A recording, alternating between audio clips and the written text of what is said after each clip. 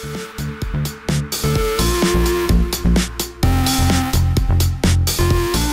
until now, my, uh, my wisp sheath has only really allowed it to be worn in this configuration with the, uh, the flap uppermost so you extract the knife like that.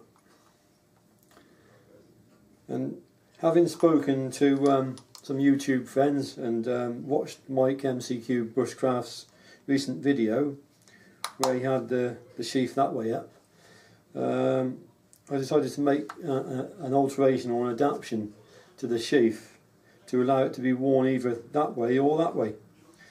Uh, so simply I'll show you what it is close up. Basically what I've done on the back of the sheath I've stitched and riveted uh, a piece of leather with uh, holes at the top and holes at the bottom to allow um, 550 diameter size paracord to be threaded through. So uh, you now got the option of uh, that way or that way in the upside down configuration. So there you go, this comes out and it's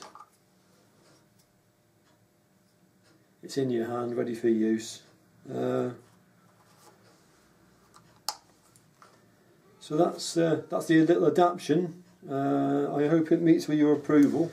So please let me know in the comments what you think, and uh, I think I'll probably incorporate that in uh, in all future wisp sheaths from now on.